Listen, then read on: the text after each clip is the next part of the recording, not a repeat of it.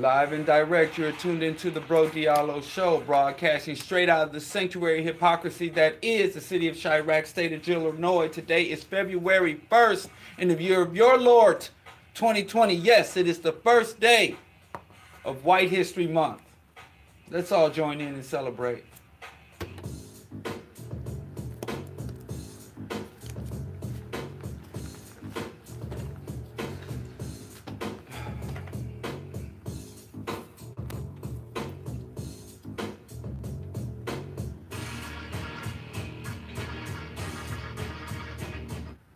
Yes, it is the first. Oops.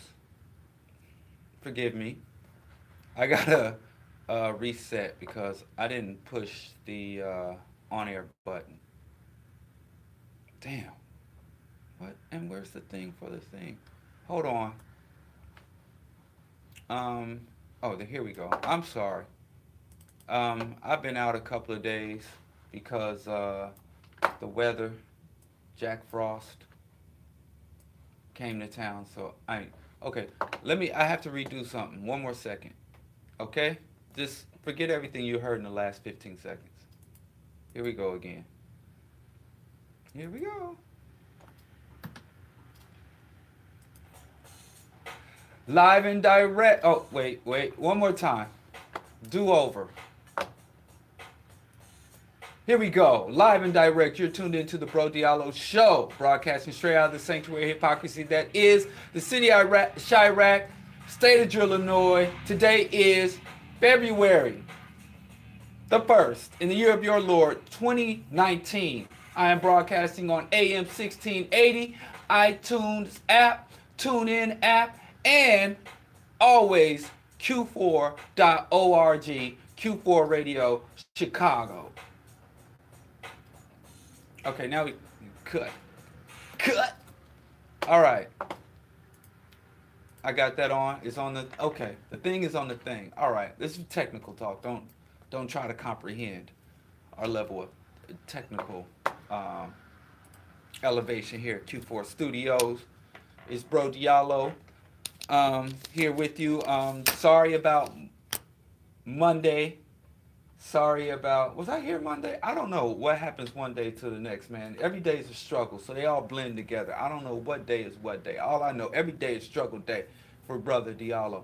But I wasn't here Wednesday. Well, I, I actually I remember Monday's coming back to me now. See, this is why I don't drink or smoke or do dumb drugs, cause my posse still labeled street thugs. LAPD got all my boys mugs. Can't use my phone for the damn bugs. That's some old school iced tea.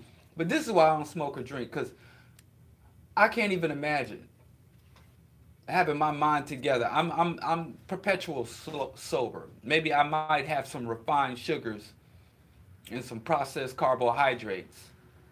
You know, you know what that kind of stuff does to your system. But beyond that, I I tend to be sober because I just can't imagine my brain on drugs. That frying egg on the frying pan, I I can't because I have I struggle with even though I stay level headed, I struggle keeping my thoughts together. So I just can't. It's not even a moral thing with me. It's it's self preservation. Anyway, Monday morning I got up, got dressed, did my preparation, said my prayers, aligned my chakra, burned my sage, you know, poured libations at my ancestral shrine. Everything I do every morning, and then hopped in the car and jumped on a 94 highway to make it up here to Ukrainian village you know, which isn't too far. You know, in the, in the spring and summer, I could even ride my bike here. It's not too far from from uh, Bronzeville.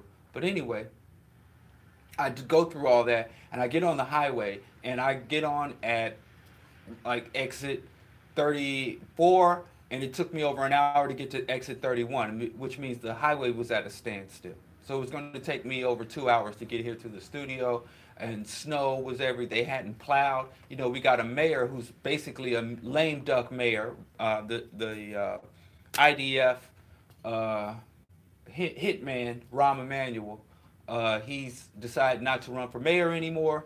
And he also had, I believe, uh, dreams of running for the U.S. Senate and eventually being the first out Jewish um, president of the United States. Because, you know, in, in, in um, there's a book called Empire of Their Own that talks about Jewish history in the United States, mainly in Hollywood, and how they, you know, went to Hollywood and built their own little economic and uh, media cultural empire. But in that book, it also talks a lot about how many Jews were undercover Jews. They would change their name. If your name was Goldberg, you might change your name to Gold. You know, so they, they would pass. A lot of passing went on in the uh, Jewish, and they, they passed for Gentiles. A lot of Jews were passing for Gentiles back in the day. So if, if you follow the, the Alex Jonesian, Ralph Epperson, right wing, white racist conspiracy theorists, they, they say they find a Jew in every pot, you know, everywhere they look. Somebody's a secret Jew or something. But anyway, I think Rahm Emanuel had aspirations of going to the Senate and eventually onto the White House as the first confessed openly proud Jewish American slash Israeli citizen, Zionist. But anyway, all that's blown up for him, his political aspirations because of his participation in not just the Laquan McDonald murder and cover up, but many other atrocious policies that he helped Obama uh, to um, push forward. And he came here to, and then Obama dumped that nightmare of a politician, Rahm Emanuel, on Chicago. We in Chicago has did nothing but love Obama for more than eight years, back when he was in the state senate, when he was a, a freshman senator, and all the time loved Obama, and Obama did nothing but defecate on Chicago, black Chicago especially. But anyway, he put that nightmare of Rahm Emanuel in office, and the city finally has awakened from the Rahm uh, Emanuel nightmare, and we're looking forward to going into another, some other mayoral nightmare, unless, of course, y'all wake up in Chicago and vote for LaShawn K. Ford. You know, a true capable politician not some demagogue or some uh, some uh, hustler, some fake progressive. If you vote for a true uh, uh progressive, LaShawn, but it, I doubt. I don't know. I don't have much faith in, in the Chicago electorate, but y'all might uh, surprise me. But anyway, all that to say, I, and I'm blaming Rahm Emanuel for me not getting here on Monday because the, the, the, streets weren't plowed and salted, and they tax us, man. I mean, they they tax. And you notice I never say taxation is theft because I don't believe taxation is theft. I believe profit is theft, but that's a whole nother discussion, a rabbit hole I don't want to go down. But I am not anti-taxation. I am anti-misappropriation of tax. I don't mind my taxes going to public schools, public uh, libraries, uh, public roadways, um, welfare, food stamps. I don't mind my uh, tax dollars going to uh, health care and centralized public health care, Medicaid and Medicare, drug treatment. I don't want my tax dollars going to multinational corporations. I don't want my tax dollars going to fund a genocidal military and all that. So I don't. I'm not a. I'm not anti-taxation. I'm anti-misappropriation. But y'all, y'all suckers and scallywops then then got played out to become anti-taxation.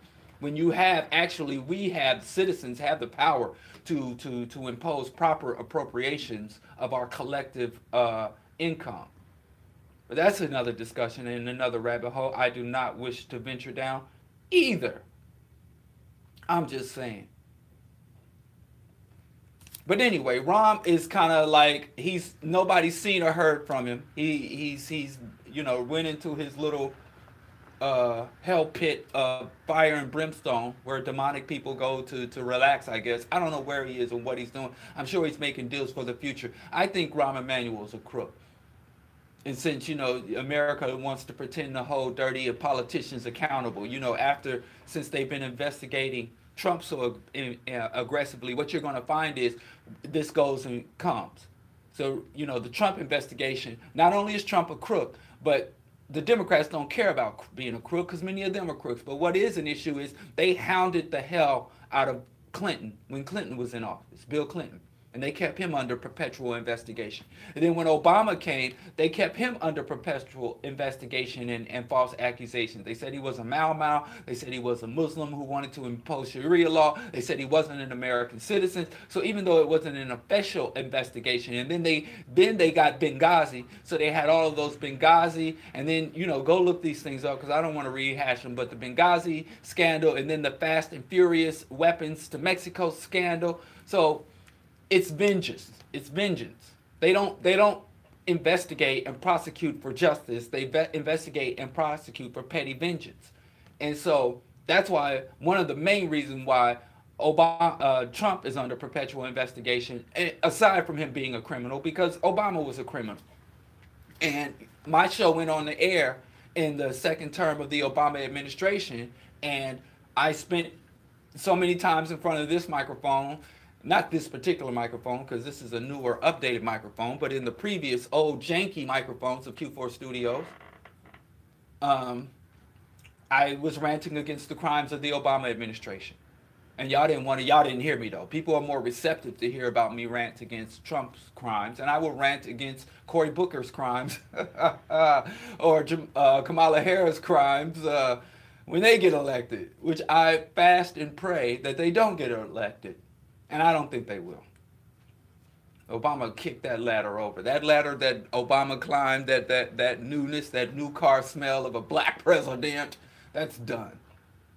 That's done. Even uh, Trump had said one thing I agree with. He said, which is racist as hell, but you know, just because it's racist don't mean it ain't right.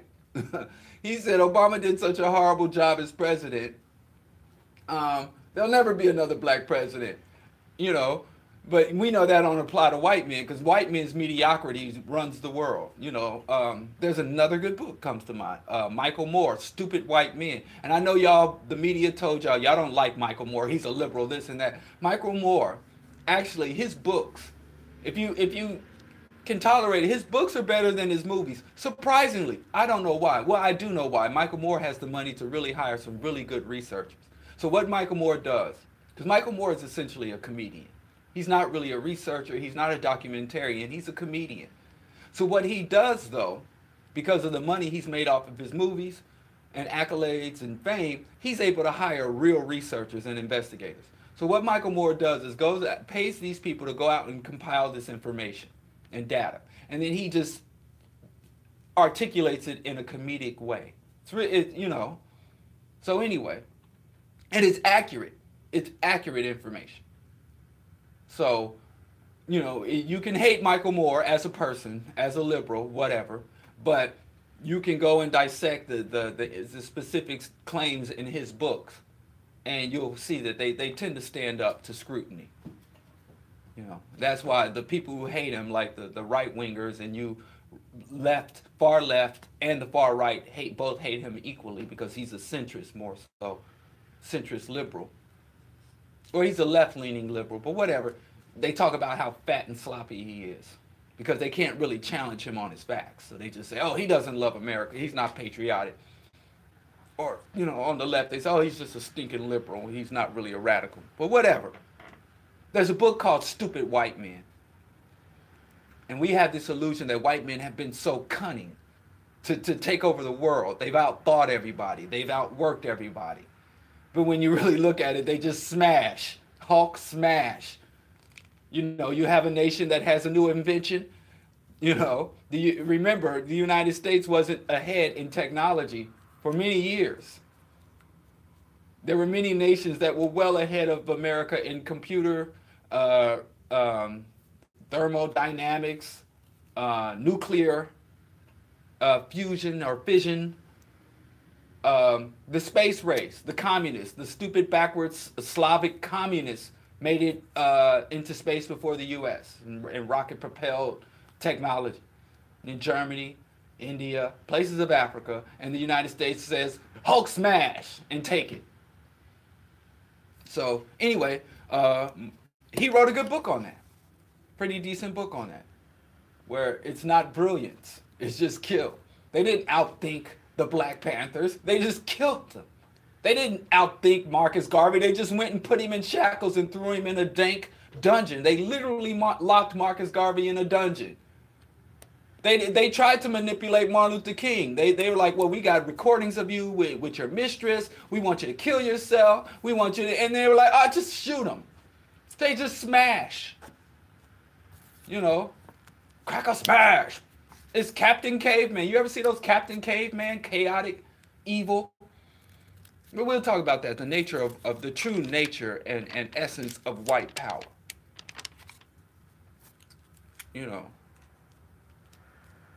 But I digress. I'm saying all that to say, I wasn't able to get here because the snow, the the which Chicago, been living here a decade now, and I this ain't my first uh, uh, uh, wintry northern city.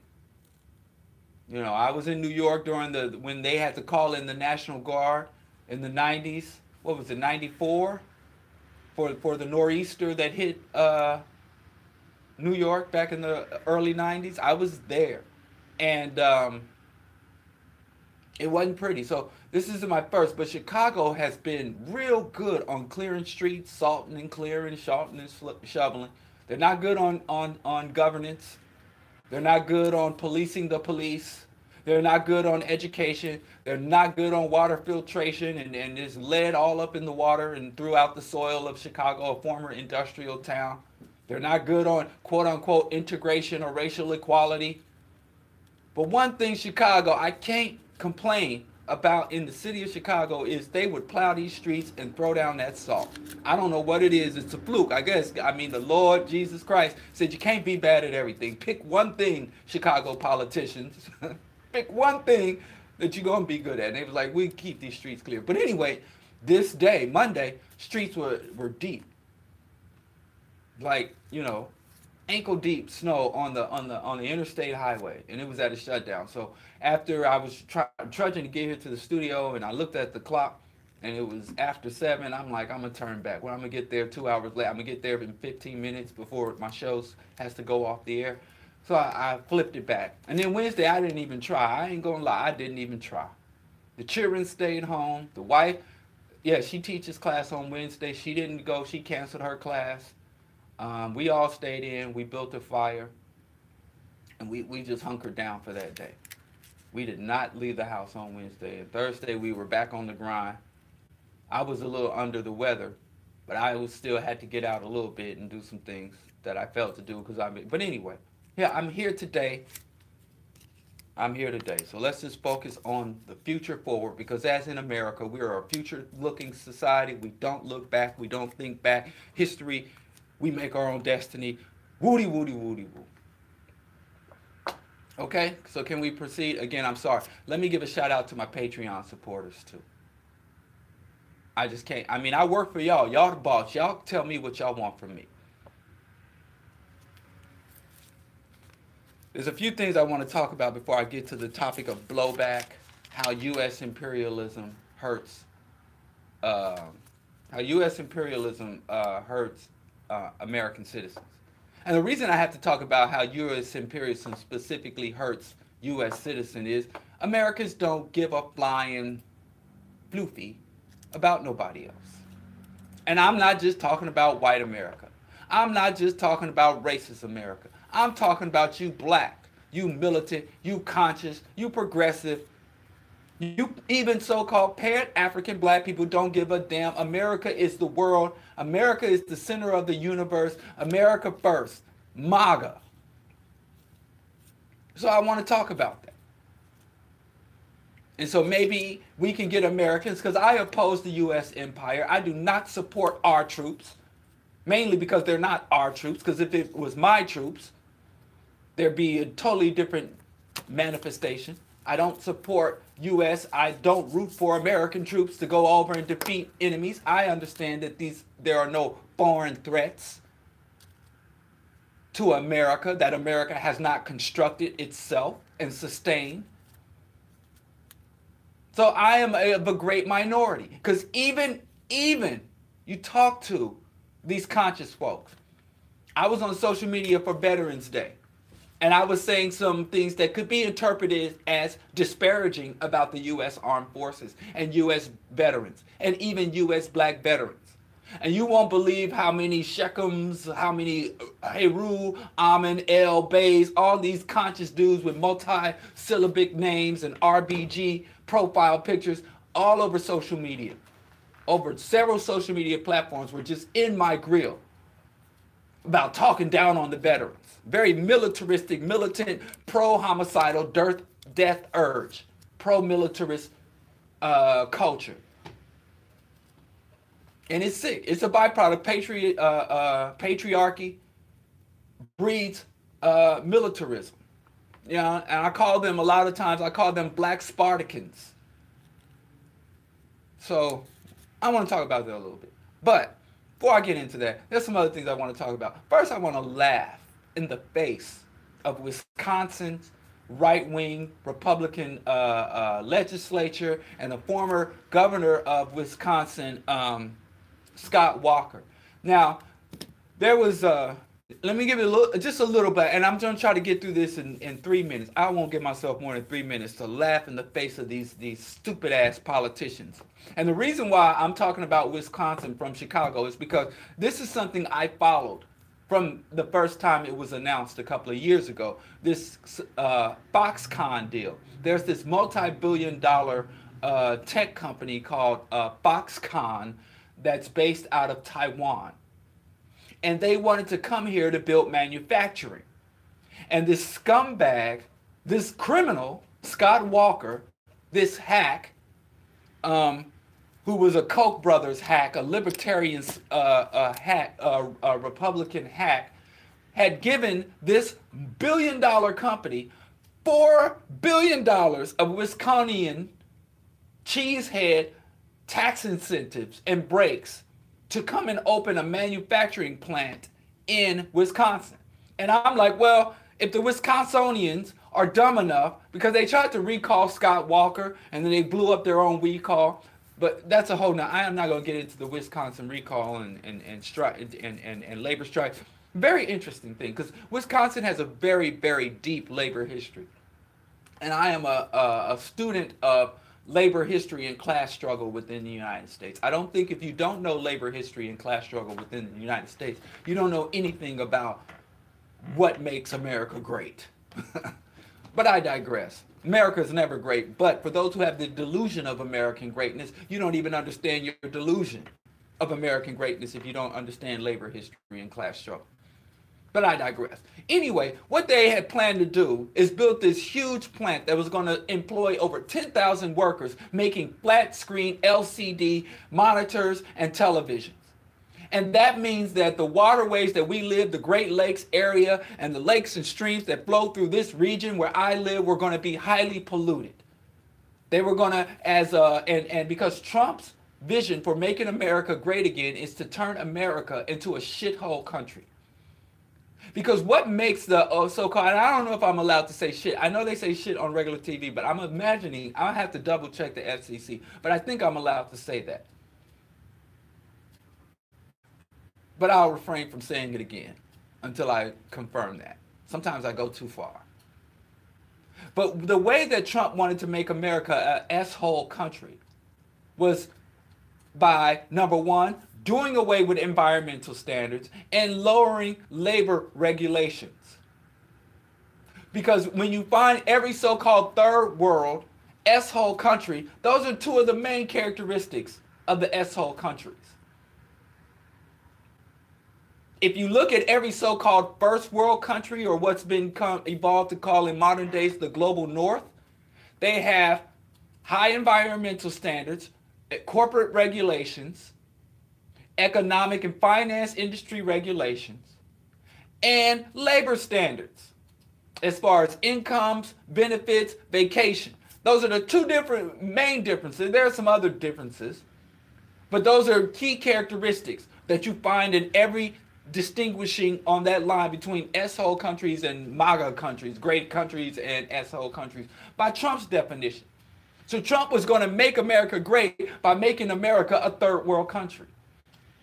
And I'm not downing third world countries because I understand third world countries are not backwards countries. They are colonized or neo-colonized country, which is another hole I don't want to go into. But anyway, the, a Foxconn plant was going to be one of the first major projects of this, but it was started under Obama. Trump loves this project. You know, Trump and Obama have more in common than they have against each other. They have a few things they don't get along on, but by and large, they align perfectly for many things. Because Obama went to, they went to the, uh, but anyway, I won't get into that rabbit hole. I'm trying to be disciplined this morning. So anyway, when Trump came in, he said, you know, full steam ahead on this Foxconn deal. Let's make it happen, Captain. And so they gave these Taiwanese billionaires $4 billion to create 13,000 jobs. And so far, they haven't even built the plant for them, but I think they, so far, of that $4 billion, uh, Wisconsin has already made good on um, 190 million. I think, yeah, I, I looked on, I read, was reading the Chicago Tribune, some of their reporting. 190 million dollars has already been kicked out to these billionaires who don't need the money, who could finance the plant without any input, without any tax incentives, without any, you know, they bought up land and gave them free land. Now, if I said I wanted to do something, everything I'd have to do, I have to pay the cost of everything. But anyway, not going to go down that rabbit hole. Long story short, in this most recent election cycle, Scott Walker was voted out of office, and a Democrat, Tony uh, Evers, was voted into office. And Foxconn announced, uh, we're gonna switch or change up. We about to flip the script.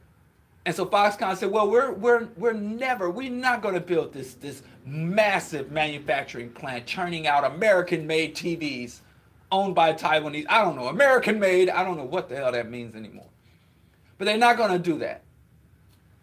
So they got the money on deck. They're not going to build this giant 13,000 jobs. They're going to build what's called an R&D facility, a research and development, which will mean one, you know, that could be a few floors in an office building. No big manufacturing facilities, but a very small facility, a small laboratory. No manufacturing, no products, no outputs, just a few programmers, a few coders, a few engineers, a few tinkerers you know, and that's it. Maybe some some uh, you know some some market research and market analysts, some statisticians, a couple of hundred jobs, in a relatively small facility. And like, whoa! And so now the Republican legislature is saying, well, we didn't get this giant polluting factory in our state because now the Democrats tried to come back and renegotiate the deal, which made Foxconn jumpy and, and decide to pull out and you you know you're hurting Wisconsin's pros- prosperity. And the Democrats are like, nah, y'all just got played. And now y'all trying to blame somebody else. If you want to blame somebody for playing you, blame Foxconn. You made a horrible deal. Now, at the most, Foxconn was promising uh was promised four billion dollars, give or take. And for $4 billion, they were going to give working class and middle class wage jobs. So that's between $25,000 and $75,000 a year jobs. The vast majority of those jobs would have been in the lower middle range, 50,000 to, to, to, to uh, $35,000 a year line worker jobs. Also, which is another part of the fine print, because Foxconn is a Taiwanese company that employs mostly Chinese workers, they would have had to bring in hundreds upon hundreds of Chinese engineers because their language and culture and operational barriers. So they would have had to bring in all of these foreign workers, the, the immigrant workers, to take care of jobs. And they said, well, this will only be for transition purposes. You know, we, we're, we're a Taiwanese company with Taiwanese management, Taiwanese culture, Taiwanese, everything's written. Our manuals are all in, in Chinese or Taiwanese. So we're going to have to bring everything in and set everything up. So those 13,000 jobs, many of them were going to go to immigrant workers that the the uh, Foxconn brought in. But yeah, hey, you know, just till we get over some humps, and no telling how little those workers were going to get paid. Uh, engineers are a dime a dozen. I mean, the the the country, the mainland China trains over a million engineers a year. Dime a dozen. It's not really a prestigious job. They bring them here. They put them in dormitories. Don't even allow. But you know, that's another hustle. But anyway, it was it was a bad deal. It was a nightmarish deal. And did I mention the reason I got interested in this because the level of pollution. Not only did they promise Foxconn four billion dollars, they promised to say, "Hey, all environmental regulation in our waterways, you can consume as much energy as you want, emit as much carbon and pollution as you want. We will look the other way. We're not going to do environmental impact studies. We'll keep the EPA off your back. It's all gravy. Come in here and make America shithole again. Right? And so Foxconn was like, okay, yeah. Just so some people can have some jobs, take your jobs. Now with $4 billion for 13,000 jobs, with that money, you could get 13,000 entrepreneurs and say, hey, each of you, we'll give you $300,000 in a small business loan. And if only a thousand of those people actually made a profitable business, you get higher tax revenues from a thousand small businesses than you would one mega corporation that you've promised incentive to. And those thousand successful small businesses would employ more than 13,000 people. Right? So it's about entrepreneurs. So if, if, if, the state of Wisconsin can give up more than $4 billion in revenues, if they spread it amongst the people, it would be better and lower carbon emission, lower footprints. You can even earmark the money to, to, to green and sustainable enterprises, eco enterprises. You know, or if 13,000 people with and spread 4 billion, you're spending 4 billion for 13,000 jobs, you can send all of those people to an Ivy League con every single one of them, you can give them $300,000 for an, uh, the uh, Ivy League education and put it in the contract. If you go and get this this uh, scholarship, you got to come back to Wisconsin and work and contribute for at least 10 years after you graduate. And you could even say, well, we want you to go into these particular arenas, healthcare, STEM jobs, liberal arts, whatever. There are so many more productive, positive, enriching ways to spend $4 billion than giving it to multi billionaires. But that's capitalism. So, anyway, it seems like the deal is just eroding, which I'm happy because my main concern, because I know those Wisconsin cheesehead right wing Republican idiots, Republicans shoot themselves in the foot. They vote against their own class interest and then they turn around and want to blame immigrants and black people. They keep injuring themselves, harming themselves, and then blaming everybody except for themselves and the elites. Let me tell you, white people listening to this show, your number one threat has is and has always been white elites. It ain't black people, it ain't immigrants, Mexicans or no other form of immigrants. It ain't even terrorists and ISIS and all of that. The number one threat to white people is the white elite. And their multinational corporations, their finance companies, their international bankers, the military, the white generals, the Joint Chiefs of Staff, the white racist, white nationalist president, and his white elitist, parasitic uh, cabinet, the white senators, the white Republican congressmen, all of your real threats, white people, are other white people that you have put in power and that you celebrate and that you tell little white kids that they should aspire to be like. That has been the case since you got here. And every other thing that you believe is a threat has been set up, manufactured, and imposed on you by the white elite. And I'm not just talking about George Soros. Hey, you mean George Soros? No, not George Soros. not him.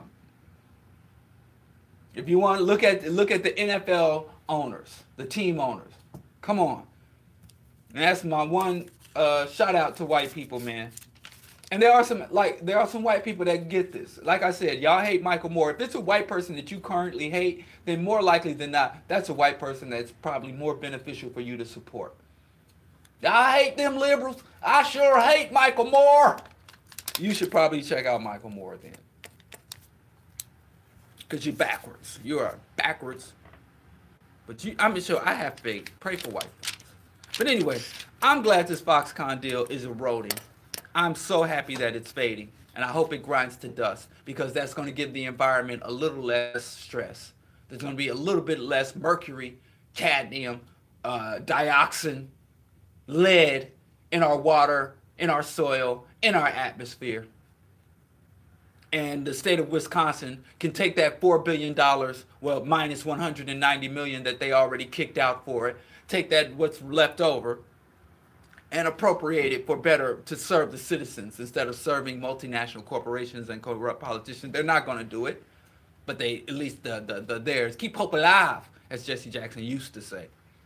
But moving on, uh, it's just this thing. Uh, they just had the biggest uh, drug bust, at least for fentanyl, which is the new monster drug, uh, forever in U.S. history um, which was captured uh, last Friday, a week ago today. You know, the the the uh, FBI and the uh, Drug Enforcement Agency, Border Patrol had a big party, big celebration, big bonuses all around. Because and you notice how these major drug busts always come at around the time it's time to renew the budgets and negotiate the budgets for these agencies.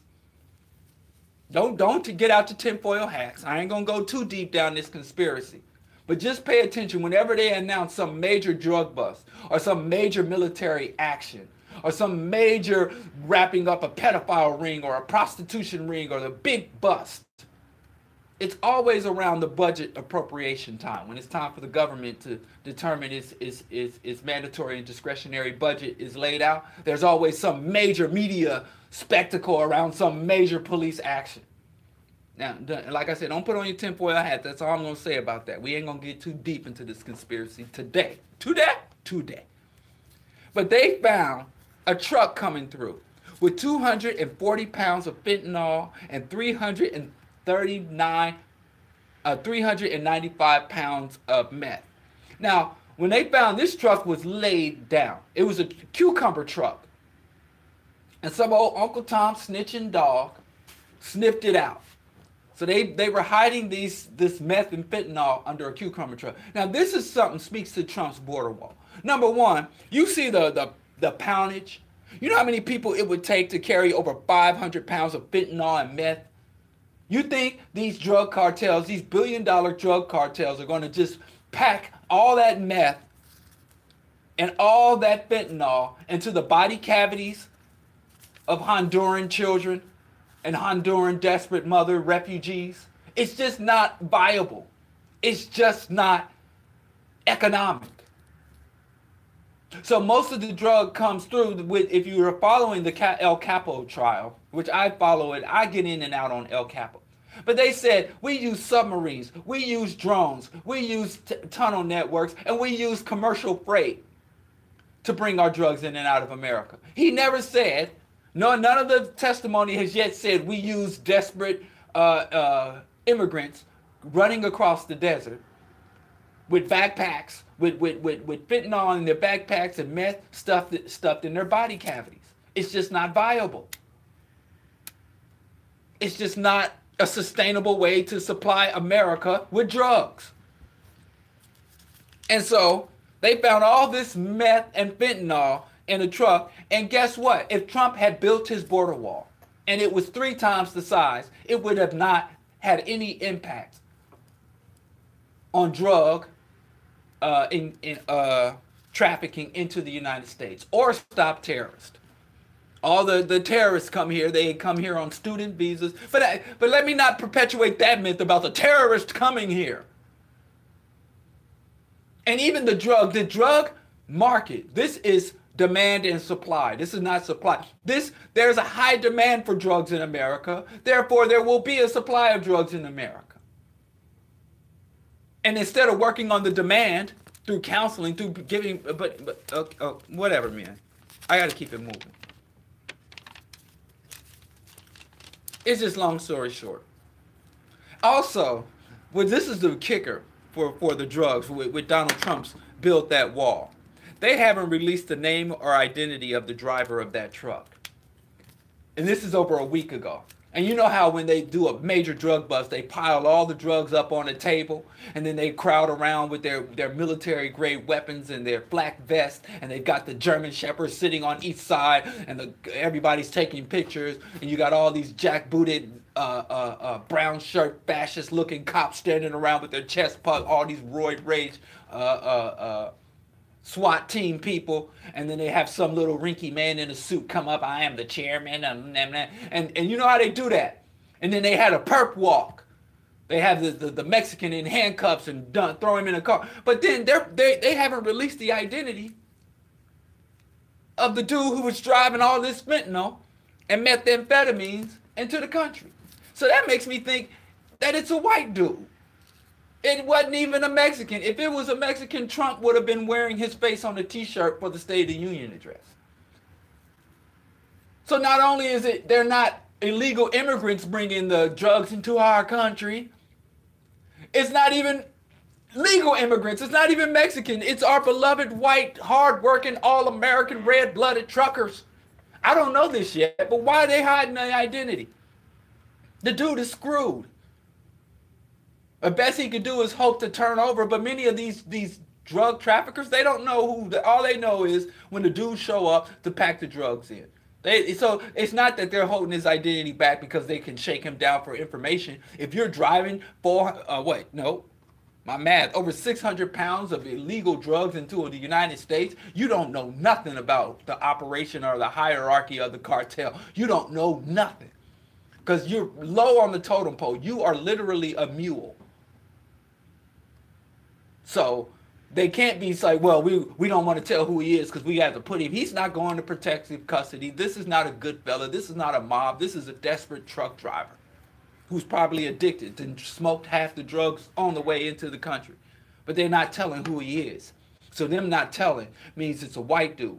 And they don't even say who he was driving for. They're talking about he's driving. Is it a Dole truck? Is it a Kraft Foods? Who is he driving the truck for? Was it a U.S. multinational corporation? So the crackpot thickens. But anyway, this just goes to show you that Trump's wall hustle is a hustle. And that's one more thing I want to say before we get to the topic, because this is something I've been saying, and I'm tired of disputing, but I guess I can't get tired of disputing until it's fully disputed. The unity delusion that black people have. I was just talking to a young lady, a positive young lady, an inspired young lady, a pro-black, Afrocentric, culturally aware, way woke, progressive young black woman who wants to make a positive attribution to the just aspirations of black people. And she was in a bit of despair because she wants to know why what's it going to take to unify black people? Why we can't get together? When are we going to be unified? Now, my message to her is we are unified. We are together. I'm not sure why black people want to act like black folks ain't unified. We are unified people. And you go to, anyway, especially in the United States, we are unified. But like the black family, what I talked about last week, a lot of times we like to act like we don't have something when we misappropriate it we act as though it doesn't exist, thus absolve us of our mismanagement of what we have. For example, let's say I have a job and I'm making a million dollars a year. And I totally squandered that money. And then I turn around and say, I don't make enough money or I don't make any money. You would look at me and say, You're an idiot. You make a million dollars a year, which ain't a lot in some circles. I can't ball out ball so hard, but it's enough to, to, to feed, clothe, and shelter myself. More than enough, way more than anyone needs, and personally. But don't make me president, because first thing I would do is impose a maximum wage. I don't think a minimum wage means anything in a fiat currency if you don't have a maximum wage. Now, in a fixed currency, in a gold-based, precious metal-based currency where there is an economic ceiling, where there's a limited amount of money, resources, revenues go, then setting a, a minimum wage would automatically set a maximum wage. But because we have fiat currency, we have a debt-based currency, setting a minimum wage don't mean a damn thing. There's no checks. So you'd have to set a maximum wage as well. But let me stay off of that rabbit hole. All I'm saying is black people have unity. We just mismanage the unity.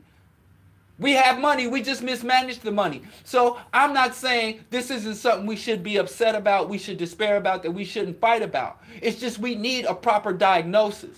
Because if you think we lack something, you're going to spend all your time trying to gain what we lack.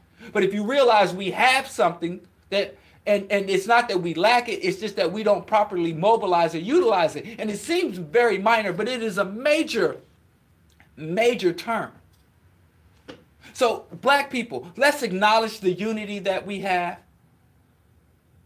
Let's acknowledge that we are together and then start to work to refine that unity. Let's start to work to properly mobilize and direct that unity. We don't lack unity.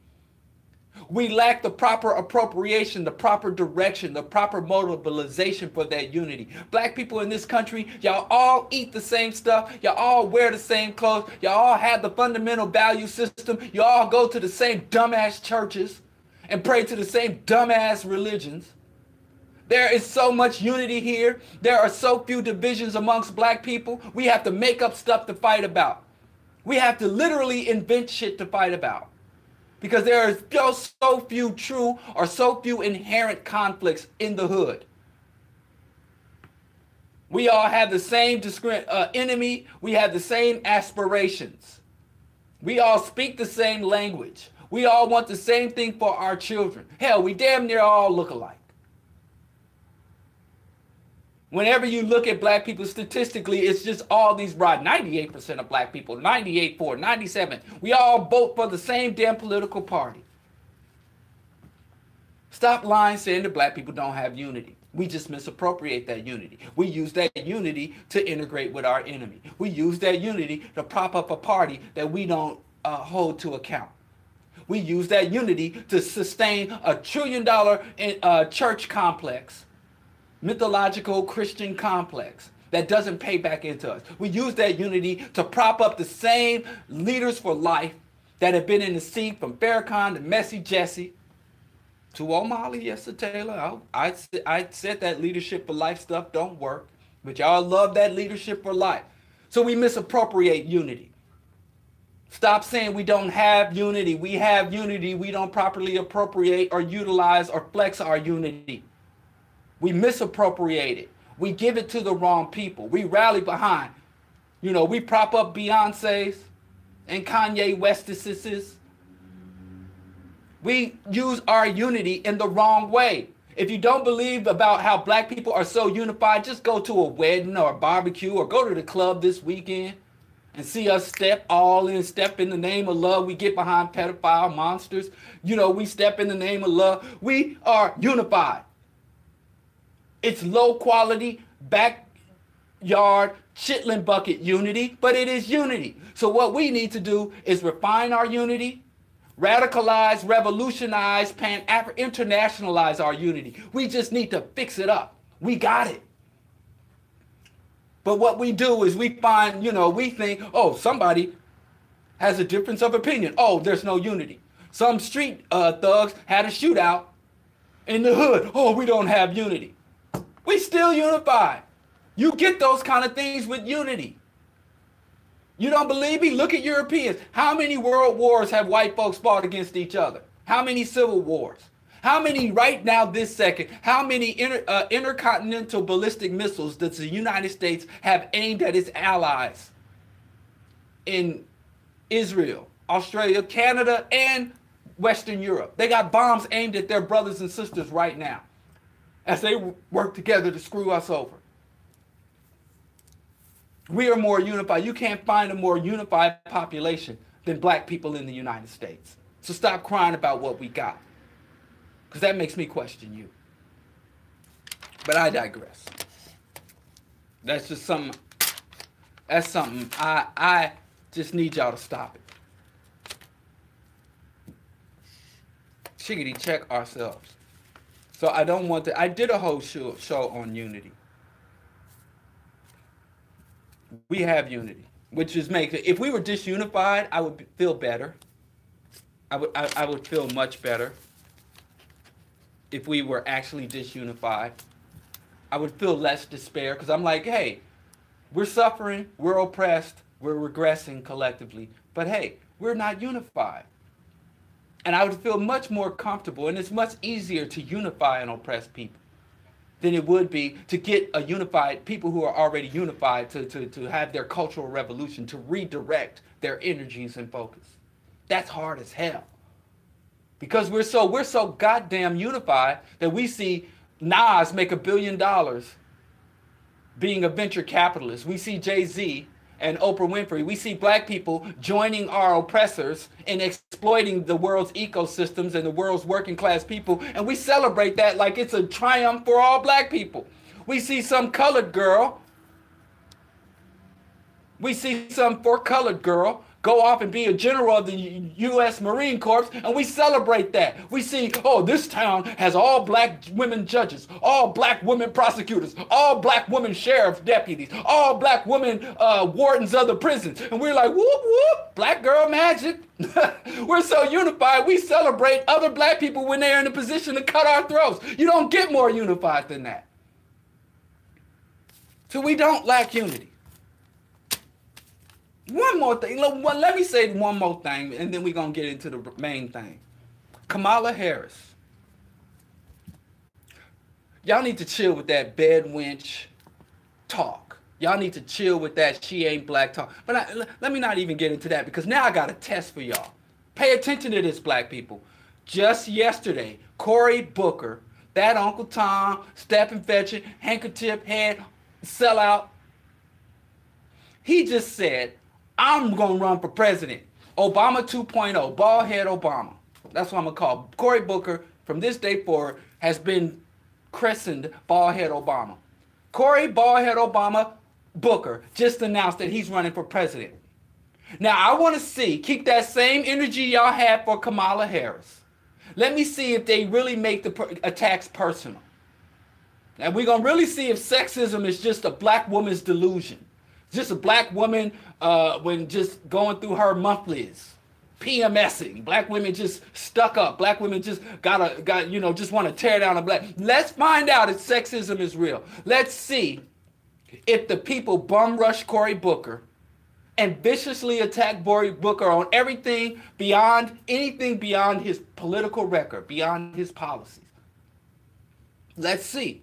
Because I can tell you this, I can tell you in every which way how Cory Booker is as bad, if not worse, for black people in the black electorate and black politics as Kamala Harris is. I'm just curious. I'm curious. That's an old song. I'm curious. Let's see. But anyway, Cory, scumbag, uh, uh, hack for, for the Wall Street hack Booker, ballhead Obama Booker, announced yesterday that he's running. Now, let me tell you something the problem with this. What's going on? The Democratic Party, and I, I don't want to get into this, but I have to. Forgive me. But we got a little time. We got a little time. Um, the Democratic Party had decided back in the early 90s that the major funders of the Democratic Party were labor unions and trial lawyers. And the major funders of the Republican Party were multinational corporation, investment banker, banking industry, and military contractors. And Bill uh, Clinton and Hillary Clinton came into the Democratic Party, came out of backwoods Arkansas, and said, listen, we can get some of that military, some of that uh, uh, investment um, sovereign wealth funds. We can get some of that Wall Street money. We can get some of that multinational corporation dollars. We don't just have to go with these, you know, labor unions. You know, we got a, a, a labor, uh, we got a party that's funded by labor. They stink. Labor workers, Teamsters, they stink. They're low class. And they got tired of having to go to these union halls to beg for money. Have to go to these ambulance chaser lawyers. And the reason why civil litigators were funding the Democratic Party is because the Democratic Party was pro-regulation. And the way that the civil litigators make their money is by suing corporations that violate regulations. So if I work for a multinational corporation and I get carpal tunnel syndrome and they find out that the, the company was violating OSHA laws, that was making violating you know minimum work standards and safety standard laws and then this lawyer comes in and, and gets and finds 50 other workers and then you get a class action lawsuit get millions of dollars from these corporations the cigarette companies. So the reason why the lawyers supported democrats not because they were pro-democracy but, but they were pro-regulation. So but the democrats were like let's get some of this republican money because they got tired of having to go to these you know these these these, these shisty lawyers in ill-fitting suits, these ambulance chasers. They start, they got tired of having to go to these musty, dusty union halls and com- pretend to care about the working class people. They wanted to go like the Republicans. They were able to go to the, the Waldorf Astoria and drink high-end champagne when they went on their campaign trail. And, and Democratic uh, people had to go roll up their sleeves and put on flannel shirts and stand in the middle of farm fields or go to a truck yard and, look this up. I know sometimes we like to think that history is so complex. That's why they try to tell. They don't want us to know and interpret history, so they pile all this stuff. I'm gonna break it down. I'm gonna tell you like it really is. I keeps it real. And that's another thing, but this keeping it real stuff. I hate y'all that run around talking about Cardi B is so real. The only way for a black woman or a woman of color to be real is to be inarticulate, and all that other stuff. And I'm not a moralist. Believe you me, ain't no God I think y'all have to answer to. I want y'all to be to abandon all that fake morality. But the black women I know by and large, even in the projects, were articulate, intelligent. They had some couth. They were not materialistic, flaunting their big diamond rings and other uh, fancy cars, get dancing on the hood of their Bentleys. So the realness of black women is the realness of dignity, resistance to oppression, of sustaining African children and whole black families under unrelenting oppression. That's keeping it real. Stop talking about Tiffany Haddish and Cardi B being real. Those women, those sisters, whatever. let me let me chickity check myself are not keeping it real. That is not real black womanhood. In fact, that is the Jezebel stereotypic coon minstrel black womanhood that was artificially manufactured by our oppressors. I said it. Now, if y'all want to cancel me or mute me, do it. Quit saying that. Now, she is, maybe she's being her sincere self, but she is not a sincere representation of realness. Assata Shakur is real. I just hate that every time. You know, they, there was some video going around of her riding around in a car with her pants down around her knees because her pants were too tight around her silicone infused buttocks. And that's another thing self acceptance, loving, love thyself, know thyself. That's keeping it real. And she talking about screaming about yeast infection and, you know, see, sipping some, some high fructose corn syrup drink and then I see these sisters, dignified women, educated black women talking about, oh, I love Cardi B. She's so real. And y'all didn't see in that that whole scene in that scene in that car pulling her pants down. You saw her hair was done, her makeup was done. That was premeditated. She was reading off a script. I don't understand why how we get fought for the okey doke. It's like every time black people scream cultural appropriation, it's some white person acting like a degenerate, and we think they're appropriating our culture as if our culture isn't intellectual, isn't dignified, isn't intelligent, focused, and revolutionary, pan African. That's appropriate. But no, I digress. Kamala Harris, brothers, let me tell you something. Y'all better go as hard in on Cory Booker and his record as y'all went in on Kamala. Now we got two. And I'm I hate to say this, but this is what y'all brought me to. I'm glad they're both fair complected. They on the light skin side, so y'all can't even go there and claim colorism. They pretty much the same complexion. Bald head Obama and Kamala Harris. Let's see.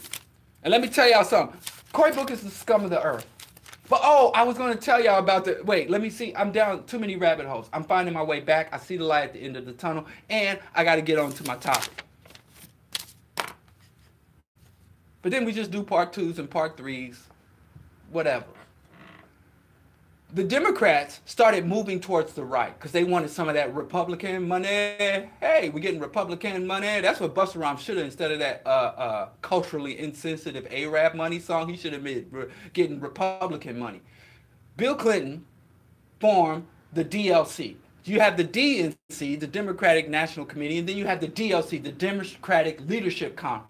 And the DLC was the commission to get some of that Republican money, some of that corporate investment bank, uh, blue blood, inbred, white elite money. Right?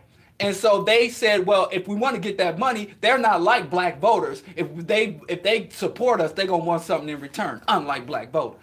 Little jab at black Democrats there. Um, so they decide, okay, we're gonna put forward, we're gonna deregulate uh, the the financial services industry. We're going to uh, oh yeah, crime and punishment. Yeah, we're going to do the omnibus crime bill. They gave them some policies. So anyway, that's why the Republicans went crazy. The Republicans went crazy because the Democrats stole their hustle. The Democratic Party in 1992 became a right-wing pro-business party. And so the Republican right wing pro business party was like, damn, if you come, if you sitting at my table, the Republicans had two choices either become a left wing pro worker party or become a far right wing fascist party in order to distinguish themselves from the right wing pro business party.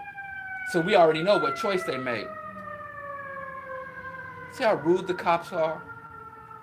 Oh, that sounds more like a uh, amber lamb. Whatever. It's past now. When we gonna soundproof this studio, Q4? Anyway, I digress. But I guess I don't want to be cut off from the streets. Because I'm from the streets. Y'all hear the streets over the air in my radio show. So yeah, don't soundproof the radio, the, the, the studio, John. Because I keeps it real.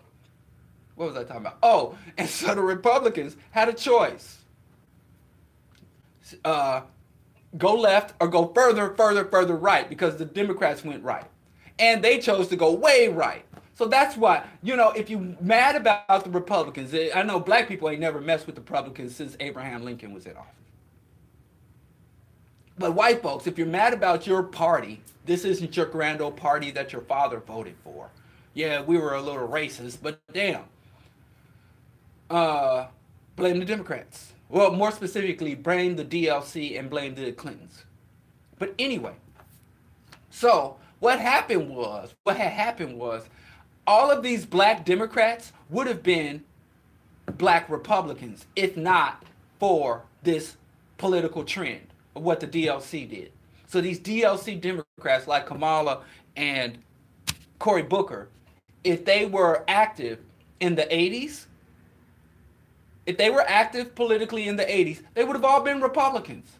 They would have been like Colin Powell, Clarence Thomas, um, Obama too. Obama's policy are Republican policies. If you look at the Democratic platform of the under the Carter administration, when the Democrats were had the Congress and the Democrats had control of the presidency, and did they have a uh, Supreme Court majority? Yeah, I think they had a Supreme Court. The Democrats run things in the 80s and the 70s. If you look at that and you look at what the Republicans, when they were the opposition party, their platform, it's identical to the current Democratic platform, including up into, including, like I said, welfare reform, uh, deregulation, tough on crime, and uh, and uh, well, Obama just became pro-gay marriage. They said that Biden was the one who set Obama down and pulled at Obama's heartstring because Obama was pro family values. So Obama would have been a Republican. And if Obama hadn't pivoted to be pro gay rights, he would have been an absolute total Republican. So that's why we get these scumbag Negro politicians. They were supposed to be Republicans, like Condoleezza Rice and Colin Powell. Cory Booker should have been a Republican, but he's a right wing Democrat, a pro business, pro investment uh, class, pro venture capitalist, vulture capitalist Democrat. So ballhead Obama is in the race. Scum of the earth. And so That's why you get so many scummy, scummy, scummy, scummy black politicians emerging in the Democratic Party. And then a lot of true progressives, like true liberals and true progressives, because Obama's not a liberal. Cory Booker is not a liberal. Kamala Harris is not a liberal. And you look at Fox News, they all those liberals, those liberals, there are no liberals to be seen in the hierarchy or the upper echelons of the Democratic Party. Bernie's a liberal. And I'm not a fan of liberals, but I just call them as I see them. They exist. Bernie's a liberal. AOC, Alexandria Ocasio Cortez, she's a liberal. But she, like they said, they them talking about her being a majority leader in the Congress, that'll never happen. Her being a presidential candidate, not likely. And even when a liberal gets that far, like Bernie, they're gonna cut him off at the knees. All that being said, yeah, Michael Steele. So we got these uh, dinos, Democrats in name only, I don't know, but these scumbag black politicians who would be much more comfortable if they were Republicans. They could talk. They don't. They wouldn't have to give lip service. If if, if Kamala could have ran as a uh, Republican, she wouldn't have to be doing her awkward, uncoordinated dances to Cardi B. And you know, uh, Kamala said that her favorite artist is Too Short because she's out of Oakland. And and and, and oh, I hope that comes back to bite her in her uh, flabby butt. I don't know if her butt's flabby. I've never seen it. I just wanted to say something offensive because I can't stand that woman's politics. I'm not gonna apologize for it, but I hope that comes back. I hope that now you know I might go find her Republican opposition and be like, she said, y'all need to be blasting too short, saying this is Kamala Harris music.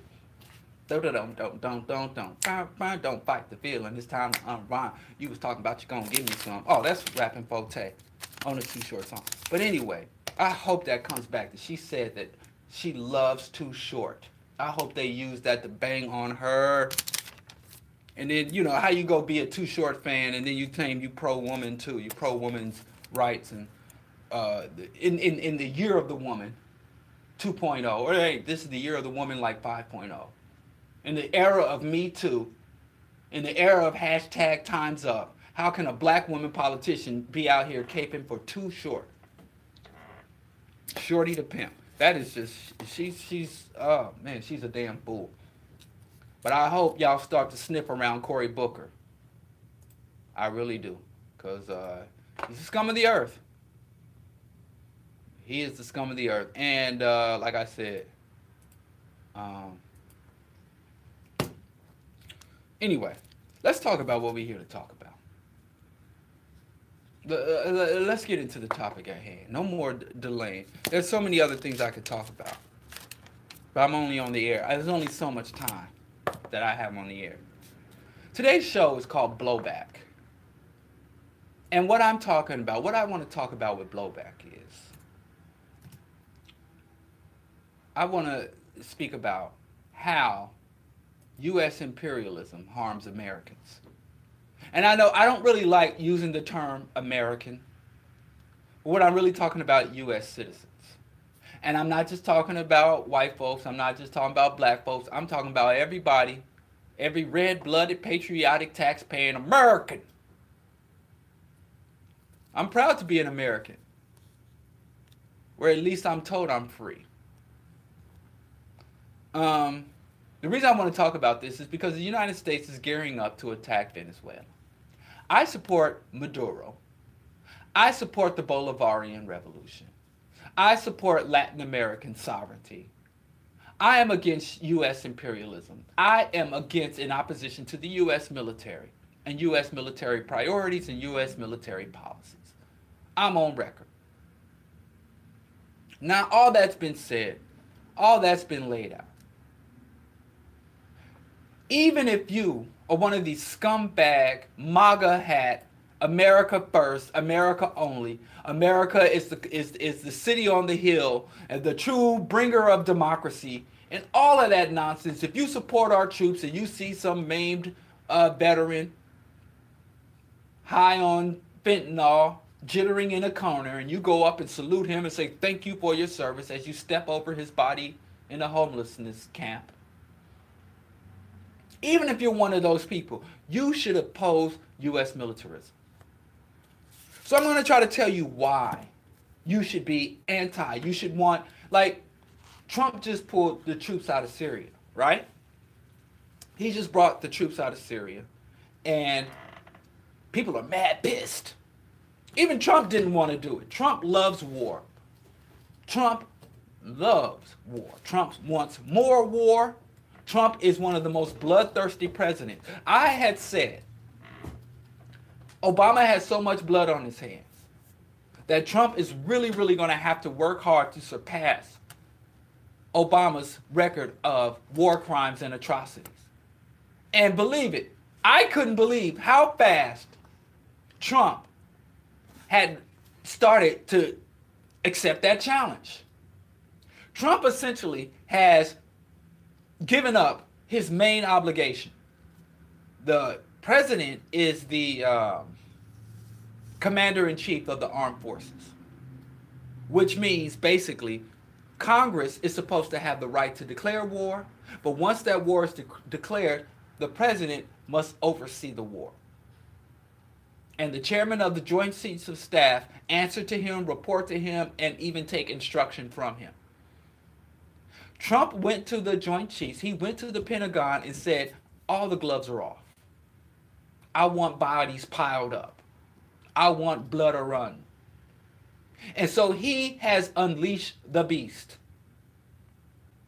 He has said, the military, don't check in with me, don't report to me, don't look for confirmation. If you think it's doable, then do it. Murder, death, kill across the board. That was Trump's military policy. Nobody even talks about it. It used to be at least Obama, who was had a real, he is a mass murderer. Obama's a serial killer. Now, from what I understand about how white folks set the law up, even if I don't get blood on my hands, even if I never touch the drugs, if I'm the man at the top giving the order, then I'm guilty of the crime. So even though Obama never strapped up and went, even though Obama wasn't using the joystick to bomb uh, children, he's just as guilty because he gave the order.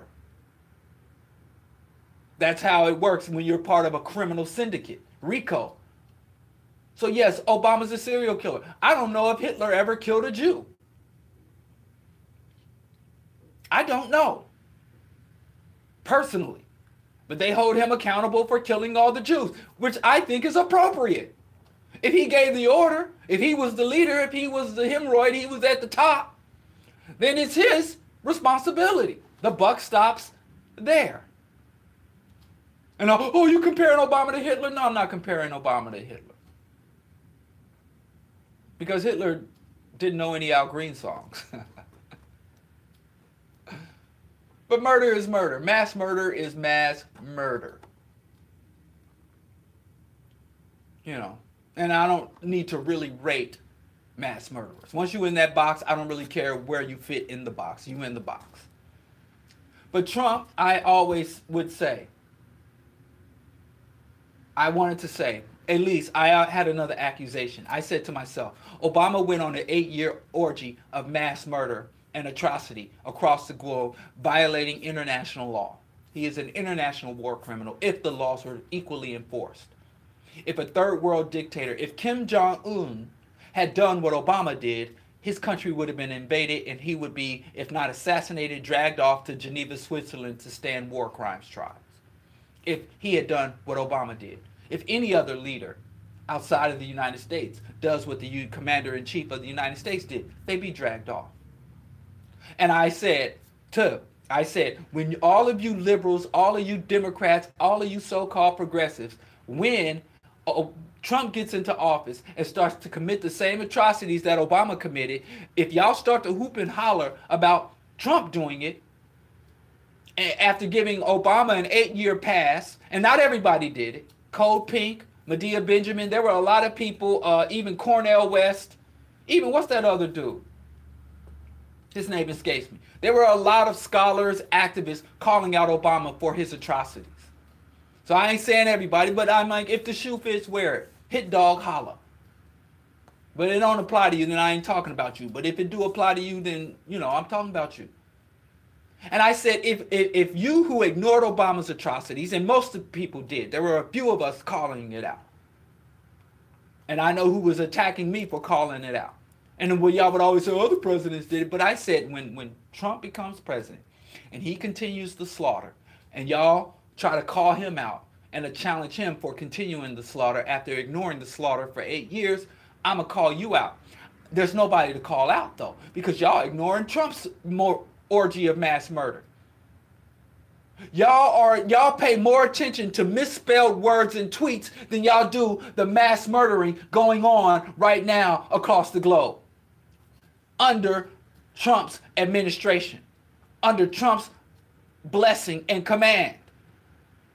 There will be more news coverage of a misspelled tweet than there are of mass murder across the globe. Why?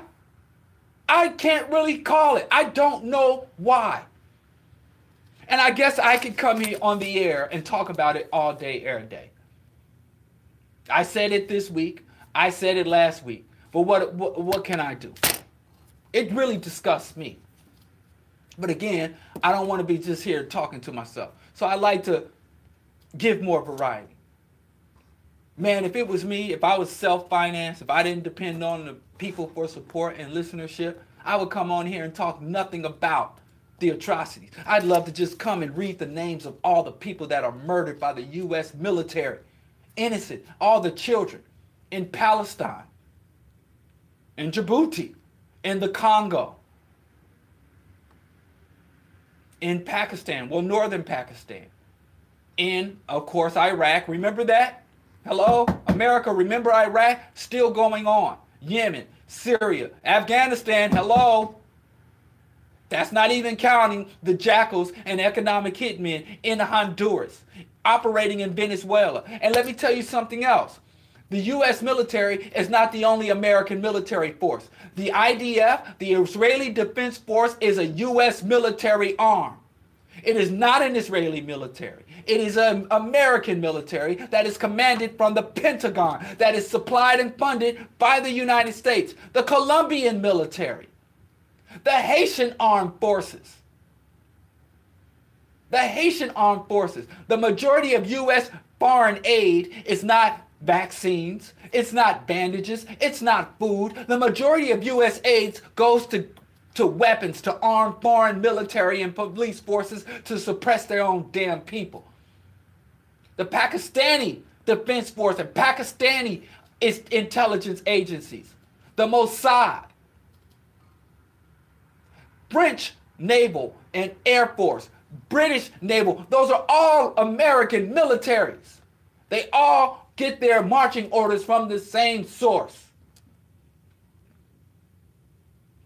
Now you got North Korea, China, Iran, Russia, axes of evil that have their own separate agenda. Not that they're just agendas, not that they're righteous agendas, they're at least independent agendas of the US empire. But majority of the militaries around the world, in fact, the reason why China, Russia, North Korea, Iran, and now Venezuela have to be so militaristic is because they're literally surrounded by U.S. military and U.S. proxy militaries. But again, who cares? The Super Bowl's happening. Y'all getting ready for the Super Bowl, buying those toxic, uninspected chicken wings. Remember, they got a backlog at the FDA. So y'all, all those barbecue hot wings, better watch yourself. But y'all guts so toxic and putrid. Y'all got them iron guts. You better have a vegan freaking uh but whatever, man. Don't have a vegan tailgate party. Nobody will come. Vegan is a lonely, lonely stance. But anyway, so let me tell you what it does for Americans. How does it hurt God's chosen people? America. What that got to do with me? dead niggas in Africa, dead sand niggers in the Middle East, dead Mexican, Spanish speaking niggas in Latin South. Who cares? This is America. So how does it hurt America? How does the America's orgy of death and mass murder across the globe, what the hell it got to do with us? And them bombs over Baghdad, they're not bombs over Boston. It ain't bombs over Milwaukee. It's bombs over Baghdad. And as long as the bombs aren't dropping here, who gives a hot, dirty damn? But let me say, first of all, all of you who claim, oh, I love the soldiers. I respect our soldiers. Thank the soldiers for their service. The people who get hurt first, the people who get hurt the most by U.S. militarism are, of course, the soldiers. And I just spent last year, I talked one, I, met quite a few young people that were planning on going into the U.S. military because they didn't have any other options. And I talked one young man. I told a young man, I said, you know, Trump is the commander in chief. Young black kids on the South Side, they're smart. They hate Trump. That's something. That's a sign of intelligence. So he's like, I'm not going to the military under Trump. Maybe after four years, I'll still be in my 20s. Maybe I'll see who's the next person in to come in office, but I won't serve under Trump. So I'm like, okay, I'll chalk that up as a win. But that's out of several, over a dozen young black people that I work with, of the ones that I know that had planned to, to, to go to the military. So you people, I don't thank the troops for their service.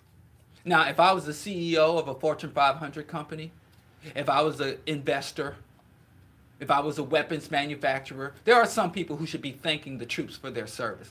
I'm not one of them because I'm a working class person. So the U.S. military does not fight for me, to protect me, to shield me. If anything, the U.S. military is a grand potential threat to me and a magnificent drain on my resources, my limited resources. So I don't thank the troops for their service, but they are people. So as a soldier, I don't thank you. But as a human being, I can empathize with you. I can understand your plight and your motivations.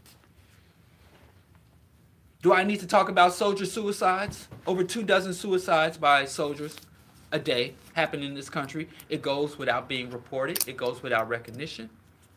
Also, rates of domestic violence. the stats are mind blowing. 91% of combat vets or PTS vets, over 91% have committed acts of domestic violence. Did you know that domestic violence was not a crime under Uniform Code of Military Justice until 2018? Let me say that again. Did you know that domestic violence was not a crime under the Uniform Code of Military Justice until 2018? And guess who made it a crime? Trump. Trump signed the, the, the, the, the law that made domestic violence an official crime for veterans. Prior to that, there was no such crime as domestic violence in the Uniform Code. And the main reason was is because they had passed laws a, a few years ago about domestic violence. If you committed an act of domestic violence, you couldn't carry guns. So you what I mean there so that that explains a lot. You know, the military for years had been sacrificing the spouses of military veterans in order to keep America safe. you know, the safety of individual women is is not as much a safety as American the empire. So, but there was this incident, this veteran named uh, Devin Kelley. He shot in 2017, he murdered uh, 26 people. He went to his wife's church and opened up with a military AR-15 and killed 26 people in the church. And he was using military equipment and military training to kill all these people, including his wife and her extended family. And then, and but prior to that, he had a long history of domestic violence against his wife and uh, family members. And because he was still able to buy guns and do all this because he was enlisted, so they couldn't bring him up on domestic violence charges. Right? And so after that, they were like, well, you know, these vets are really bugging out because 91% of combat vets, maybe, hopefully, prayerfully, uh, now that domestic violence is an official crime under the uh, UCMJ, maybe that will cause a reduction. We can get it under 90, maybe. 91% of combat vets you know, uh, so domestic violence, suicide, drug abuse, homelessness, mental illness, PTSD and other forms of, of, of mental psychological uh, uh, disruption all are skyrocket for veterans. You take all the ills of the larger society, and when you go and apply it to just the veteran demographic, it more than doubles for most of the problems. So if you really love the troops, the first thing you would do, you would be anti-military. The worst thing for for our troops is the military serving in the military, enlisting in the military, fighting for the military, being a veteran of the military. Do I even need to talk about how the veterans are getting screwed, how they're not getting adequate health care, how they have to fight and struggle for their benefits, how they're being juked on the GI Bill? So it hurts the veterans. And it and I know that's why they have to have those glossy ass commercials of those buff ass soldiers with clean, you know, and then they had the commercials of the veterans coming home and the dog runs out to greet the veteran, or the children run out, the children are at home, and the dog is at home, and the wife is at home, and don't none of them know their loved one is on his way home. And then when he arrives at the door, everybody cries. And then y'all go click like on social media, and the videos get 50 million views. And y'all just, oh, it just tears at your heartstring. They never show the mangled up veteran. They never show you the, the veteran that's brought home with half his face missing, breathing through a tube and pooping in a bag and you wheel them up. Well, how the dog looks at that? Do the dog run up and lick that guy, or does the dog run away in fear? What do the children and the wife do? Y'all some suckers, man. I'd like to see one video of a returning, mangled up veteran. And then, after all that, thank you for your service, all that patriotism, corporations don't like hiring vets because they're screwed up in the head. And they've got all these campaigns. The government literally has to bribe private industry to hire vets. The only places that are enthusiastic about hiring vets are the police departments. Because, I mean, it's a great, if you're a psychopath, go be a cop. They love that. It's a perfect place for you. Or be a venture capitalist. So, if you really love the veterans, you would be anti war, anti imperialism. I don't give a damn about vets. I love humanity. You don't have to, the people who enlist into the military don't hold any special status over the people who work at McDonald's or teach school or who break dance. I don't give a damn about your job. Your job does not define you or give you a higher standing amongst the human family. But that's my value system. I don't know about yours. That's just how I do. I love humanity. I love ecosystems and natures. So whether you're a veteran or not, I appreciate your existence. I think you are full and worthy, all of that good, wholesome stuff. That's me. And if you give a damn about humanity, you would be anti-military. If you are so sick to think that veterans are special people above and beyond every other civilian citizen, if you thought that and you were really pro veteran, you would be anti militarism, you'd be anti imperialism. And I don't even know why I have to explain this. And I think the worst thing you can do for veterans is venerate the veterans, to elevate the veterans. That's the worst thing you can do for them. And the veterans are like, damn, I love people giving me all this gratitude, but can you give me a job? Can you give me medicine? Can you give me health care because I've been over there breathing in depleted uranium? Gulf War syndrome. We haven't even finished help healing the damn Vietnam War vets, the Korean War vets, the Panamanian War vets, the first and second Gulf War, the, the troops we sent over to the freaking uh, Balkan areas, the Bosnian wars. You keep creating all these sick people with psychological and physiological problems and then underfunding and defunding their health care. But you tell me you care about veterans. Y'all don't give a damn about veterans. And this ain't no, I'm not, like I said, I'm not a patriot. I'm like the worst kind of American. I'm everything I wasn't supposed to be. All my teaching and indoctrination through childhood did, did everything to prevent me from becoming this person. And you all failed. I'm just saying in the interest of common decency and humanity. But let's move on beyond that. Some of y'all don't even care about the veterans. Some of y'all about that money. Get this money. Ain't ish funny. Let's talk about the money. Let me just say, uh, all you fiscally responsible people, all you people who are all about entrepreneurialism and opportunism, the military is the biggest drain on American prosperity. It is not welfare queens. It is not babies having babies, poor mothers on welfare. That is not the biggest drain. It is not homeless people. It is not the military is the number one drain on discretionary funds.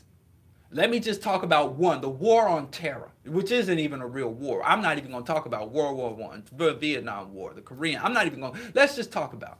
Here's some real-time stats. Every hour, taxpayers in the United States are paying 2.28 million to care for uh, war on terror veterans since 2001. Now remember, that's since 2001. The war in Iraq, the war on terror didn't start in 2001. The war on terror started in 1990. Remember, we went over to Iraq to save Kuwait because Kuwait was slant drilling Iraq's oil, and then they gave Saddam Hussein eh, eh, permission to invade that's under the first George W. Bush. Remember, the second George W. Bush said that one of the reasons he wanted to go and get Saddam Hussein is because Saddam Hussein put a hit out on his father. And the reason Saddam Hussein put a hit out on George Bush's father is because George Bush invaded his country and slaughtered his people before his son ever thought about running for president. And to this day, since just 2001, we spend 2 million point 28 on the care for veterans. And even though we spend that every hour, the veterans still don't get adequate care. That's not it. This is just since 2001. Every hour, taxpayers in the United States are paying 7.99 million for homeland security costs. And this is a brand new agency. Let's go on. Every hour, taxpayers in the United States are paying $10.5 million in interest on the war debt since 2001 every hour $10 million an hour. Not yearly. That's interest on the debt. War debt since 2001. But do you know that the debt, war debts from freaking World War II have not been paid off? I think we paid off World War I debt and Civil War debt. That's 10 million an hour. Every hour, taxpayers in the United States are paying 11.76 million for military costs since 2001. 11 million, really 12 million dollars an hour if you round it. An hour since 2001. Has America just started making, and that's just the most recent data. And this is cutting off. Every hour taxpayer in the United States are paying $32 million in total cost of war since 2001. Over $4 trillion to date since 2000 war, just on the so-called war on terror. That's not even counting the mobilization for war in Venezuela and Latin America. That's not even counting the ongoing uh, genocidal war in, in, in Palestine, in Israel, and Lebanon. That's, that's even though they try to envelope that now in the war on terror, that's been going on for 60 years. The U.S. military is the reason why your bridges don't get repaired. You drive under a bridge and you see it all rotted out. That's the reason why your children have to go into schools full of lead paint and, and mice and, and, and leaky pipes. That's the reason we have to pray that some celebrity or some ball chaser will come open a decent school for us because we as citizens don't have the ability to open a school as public citizens in the public interest.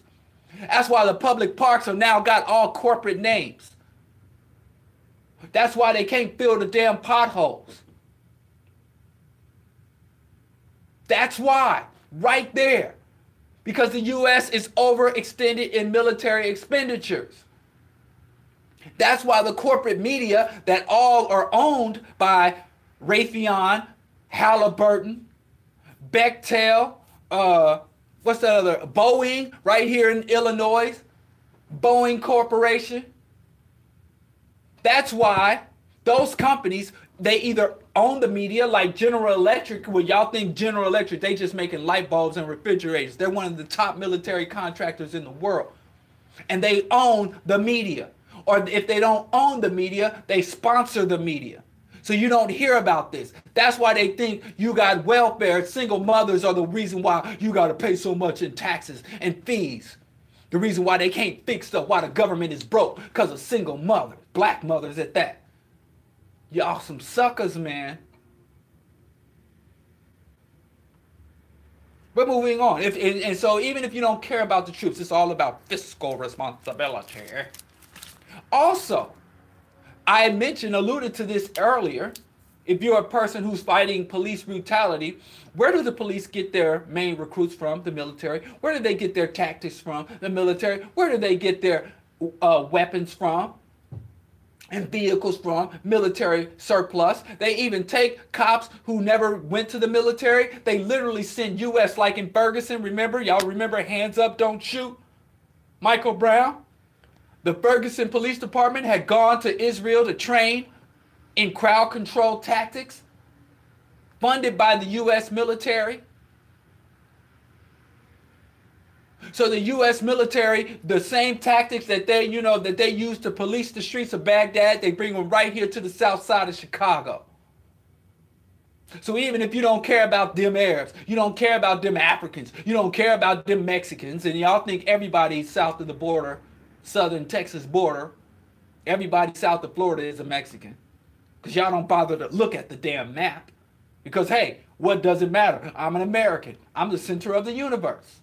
So even if you believe that, the cops kicking in your door, driving military grade Humvees down your street, that is a byproduct of overinvestment in the military. The military gets so much funding, and then we underfund our civic life so the, the police departments have to go bow down to the military. The, the military owns our media. They can't make a war movie. All of these movies you love. Even I'm Forrest Gump. Even the movies you think wouldn't have it, they have to have sometimes intelligence agencies, CIA operatives, and or Pentagon agents that are there, quote unquote, consulting, i.e., censoring the movies. If you want to make a movie and you want to use public space, if you want to use, let's say you have a, a movie and you want to have U.S. fighter jets or a tank in your movie, then you got to go to the Pentagon to get permission to use that. And they were like, yeah, but every time, not only will we give you the tanks, we'll even give you a few dollars to help in your production. But you got to put a positive slant on the military. You got to show U.S. soldiers, instead of being rapists, instead of being cold blooded mass murderers, you got to show U.S. soldiers being heroic and being sympathetic. I just watched this one movie, um, Bird Box. And I only the main reason I watched is because there's just so many Bird Box memes. I don't like feeling left out. I'm a human being. I'm a social primate. So I'm like, everybody's watching Bird Box. So the other night, my wife and I, sitting in front of the fire, I decided, yo, let's watch Bird Box. And the brother the Captain Save-A-Hole in that movie, he uh, was a veteran. And they had this veteran sitting there talking about, uh, he had this one real, you know, gut wrenching moment in the movie just before they killed him off, of course. Black men gotta die on screen through that psychological warfare. I don't. Don't put on your tinfoil hats. I'm not going. The brother was talking about how he was in Iraq and he saw an Iraqi man walking his children down the street. and uh, he wanted to like, where are you going? They rained down on him with the military. Where are you going? He's like, I'm just walking my kids to school. And so the, the dude literally said, U.S. soldiers were in Iraq walking, helping a man walk his children to school. And every day that became my duty to walk this man to school. And the man gave him a necklace when he was leaving. And then he wore that necklace because he'd like to believe that this Iraqi man hasn't been blown to bits, that he's still walking his child to school. His children had had to breathe in, walk over the corpses of their family members to go to school. And it, it was just so humanizing. And that just utterly disgusted me. And I know the Pentagon put that in there. Because you see that movie, they had to have a lot of logistics. You know, they had a whole a post-apocalyptic movie and all that stuff. So they had some Pentagon consultants on that movie, I bet. Some intelligence agency consultants on that movie. And they was like, yeah, they probably wrote that in later. You know, let's make him an Iraq war vet. And that's why he wanted to protect this woman and protect these children. That's why he was so hopeful in humanity because he's been to war and he understands. So he's equipped, he's armed and prepared to help our people. propaganda. These soldiers don't give a damn about you. And let me tell you, just like they follow orders to mass slaughter Iraqis, if they got them same orders to mass slaughter Americans who are rioting for food or rioting for justice or just marching peacefully for some other complaint about the government, they will mow us down because they've been trained to do it. And it's been done before in American history. The military is not here to protect citizens, it is here to defend the status quo. It's always been the case you don't have one freedom from the Constitution or your personal autonomy that you owe to the government. But anyway, I digress. Just imagine if a foreign army that spoke a foreign language and worshiped a foreign god came here and blew the hell out of our country. They set up a blockade around the country and prevented any iPhones from coming in from China. They prevented any of the food, cucumbers, and fentanyl from coming up from Mexico. They put an economic blockade around our country for 10 years. And then they send these bombs. And these are the kind of bombs that you don't even hear until they hit. They fly above the cloud line. You can't even hear them. And they're just bombing devastating targets. And then when they bomb our nuclear power plants and they bomb our oil processing facilities in America and all that nuclear waste and pollution falls all over the country. Nobody there to clean it up because all of our administrators, all of our bureaucrats, and then all the people with means, they got a little money, they got a little education, they saw it coming. So they all ran to Canada or ran overseas. So only the poor and working class struggling people are left here to face the bombs. And then after they do all that damn bombing, they send in the troops and the troops march with the flag of their foreign country on their lapels. And they got all these weapons. And they don't have to obey any of the laws of this country. Whatever order they get. And we can't hold them accountable. And they're kicking in doors and turning over our houses. And we watch them kill our brothers and sisters. We watch them rape children we watch them mutilate. They take our leaders in our community that try to stand up and advocate, and they take them off to a, a, a, a police station or to a prison, and they take their their testicles and crush them in vices. They torture them. They mutilate them. They rape them. They sodomize them with, with, with, with, with the butts of guns. And then those pictures leak out onto the internet. And then you turn a, a, few years later, you look at a movie, and in the movie, a soldier who participated in that, or some character playing a soldier, talks about we went to Iraq to walk children to school. Can you imagine how freaking insulting that is? Can you imagine what that does to and that's why we got more than 24 soldiers a day blowing their own brains out because everybody can't deal with that. Everybody can't carry that weight of what they've done. And they, they have this thing called atrocity inducing conditions. There's a book called Hitler's Willing Executioners. But there's other books that talk touch on this, like The Drowned and the Saved. That talk about you have everyday people, like your neighbor, like the people you know you live around, the people, the person you love. You put people in certain conditions and they can start where atrocities and murder become normalized. So I didn't think this was possible, but the moral, the psychological health of this nation is being further degraded by imperialism. We have leaders, we have neighbors, we have citizens, co citizens who have engaged in some of the most heinous atrocities in the modern era and we walk amongst them and they impact us.